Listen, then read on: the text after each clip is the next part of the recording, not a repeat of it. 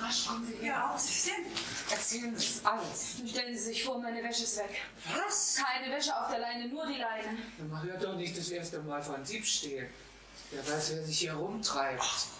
Sie müssen sofort zur Polizei und das melden. Ich war vorgestern bei meinem Arzt, mein Blutdruck, Sie wissen, die 180 hat er gemessen. Und da saß eine Patientin, die hat einen ähnlichen Fall erzählt. Und nur durch das schnelle Eingreifen der Polizei ist das Schlimmste verhindert. Ich glaube nicht, dass die Wäsche gestohlen wurde. Sie am helllichten Tag. Vielleicht hat sie jemand in Sicherheit gebracht vom Regen. Da hätte diese jemand die Wäsche doch zu mir gebracht, nicht wahr? Aber natürlich, die Wäsche ist geklaut. Frau Scholz, wo ist denn Ihr Gummibau? Habe ich da unten vor die Tür gestellt. Nicht so schnell, Frau Scholz. Bei Ihrem Blutdruck.